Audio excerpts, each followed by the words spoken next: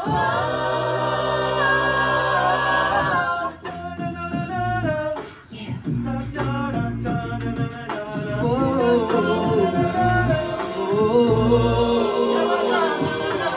Let's take it back one second. Remember when I had that patience?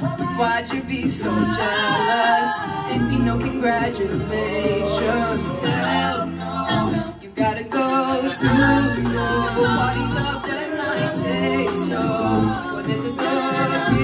Big I ain't gonna follow. It's not my job to make you feel comfortable. First of all, baby, it's not my job.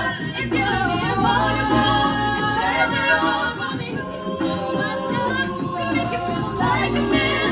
Boy, you need to stop. It's not my job to make you something you are not. I'm not the type of guy to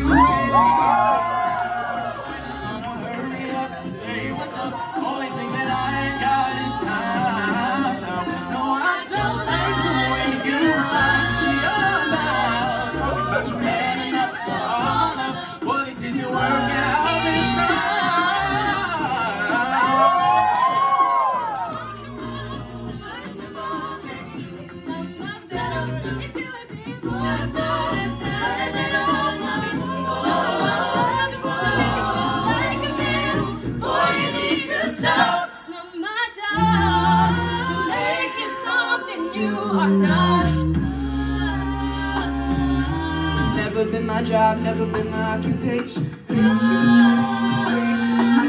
that all by myself, I don't feel so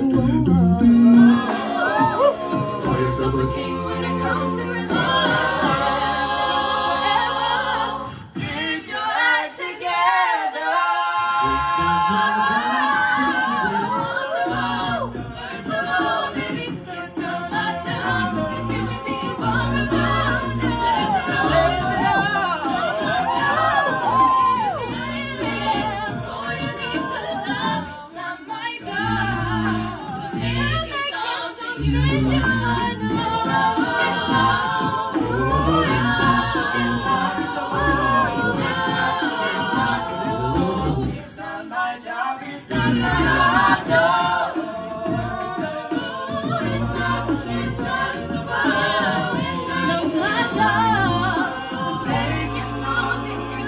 now.